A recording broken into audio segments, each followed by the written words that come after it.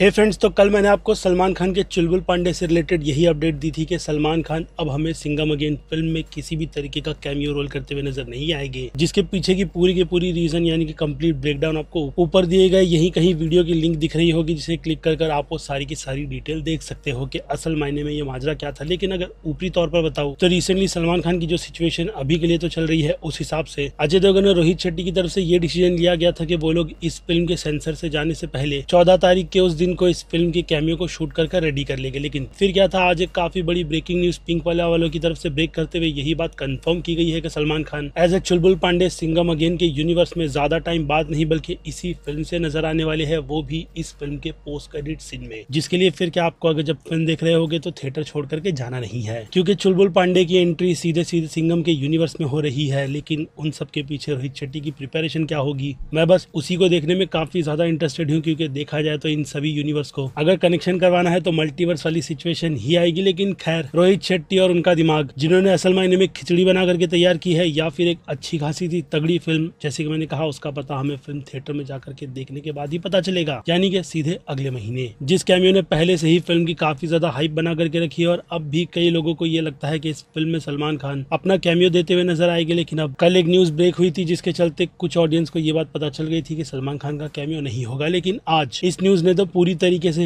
हिला डाला वाला हिसाब में डेफिनेटली फैंस को हिला करके रख दिया है, क्योंकि आज ही इस फ़िल्म के उस कैमियो को शूट किया जा रहा है। जी हाँ सलमान खान का वो कैमियो आज शूट कर कर वो लोग पूरी तरीके से इस फ़िल्म के पोस्ट क्रेडिट सीन को रेडी कर लेंगे। यानी हो सकता है कि सलमान खान भी अपने कैमियो को देने के लिए काफ़ी ज़्यादा इंटरेस्टेड है, जिन्हें शायद से अब दबंग के यूनिवर्स को भी लेकर के बहुत बड़ी उम्मीदें नज़र आ रही है। जो की इसी बात की कंफर्मेशन देता है की रोहित शेट्टी का ड्रीम कॉप के यूनिवर्स को बड़ा बनाने का जो था, वो अब बहुत ज़्यादा क्रेजी लेवल पर जाएगा। लेकिन कितना अगेन फ़िल्म आने दो बहुत ही जल्दी पता भी चल जाएगा, क्योंकि देखा जाए तो सिंगम अगेन फ़िल्म के आने के बाद, अगर किसी फ़िल्म की ऑन स्टेटमेंट बात की गई थी तो वो थी टाइगर श्रॉफ की एक स्पिन ऑफ़ फ़िल्म जिनके करियर के ग्राफ को देख करके तो फ़िलहाल नहीं लगता कि उनकी उस सोलो फ़िल्म को बनाया जाएगा तो क्या ऐसा हो सकता है कि उस फ़िल्म के आइडिया को सीधे सीधे घुमा करके सल्लू भाई, यानी कि चुलबुल पांडे के कैरेक्टर को दे दिया गया? अब कमेंट में लिखकर बताओ। और हाँ ये भी इस ब्रेकिंग न्यूज़ से अब आप कितना ज़्यादा हिले हो, क्योंकि लिटरली ये काफ़ी बड़ा सरप्राइज़ भी था, जिसमें सलमान खान ने इतनी सारी परेशानियों के चलते इस बीच जिस तरीके का डिसीज़न खास करके फैंस के लिए लिया है। वो तो उनके फैंस के लिए बहुत ही बड़ी बात है। और ऊपर से सलमान खान खुद की पारी खेलते हुए मुझे लगता है जिस वर्जन में भी अब आगे बढ़ रहे हैं उसमें इस साल हम उनके दो काफ़ी लाजवाब कैमियो को देखेंगे, जिसमें सबसे ज़्यादा बड़ी उम्मीद मेरी, अगर कैमियो को लेकर के बनी पड़ी है तो वो है बेबी जॉन फ़िल्म बाकी देखते हैं कि सिंघम में कैमियो को किस तरीके से पिक्चराइज किया जाता है। क्योंकि इसके बाद जब इस कैमियो को शूट किया जाएगा, यानी कि इसके पोस्ट क्रेडिट सीन को तो उसे हाथ सेंसर बोर्ड को भी दिया जाएगा ताकि वो लोग उसे देखकर जल्दी से ग्रीन लाइट ये दे दे कि इसे थिएटर में दिखाया जा सकता है। यानी पूरी फ़िल्म को पहले सेंसर बोर्ड में भेज दिया जाएगा, जिसके बाद जाकर के इस पोर्शन को अलग से मेकर्स ने डिसाइड कर लिया है कि वो लोग सेंसर बोर्ड को सबमिट करेंगे, ताकि ये सीन यानी कि ये माहौल जिस भी तरीके का रोहित शेट्टी बना रहे हैं, लोगों के बीच बिल्कुल भी लीक ना हो। लेकिन अब खबर तो ब्रेक हो गई है, जिसे लेकर के और आपकी क्या राय बनती है? जैसे की मैंने कहा, वो आप मुझे कमेंट में लिख कर बताइएगा, क्योंकि वक्त है मेरी तरफ़ से इस वीडियो को यहीं पर दी एंड करने का। बाकी मैं हूँ Aziz movie stock show channel like share और सब्सक्राइब भूलना मत मिलूँगा जल्दी दूसरी किसी वीडियो में। Till then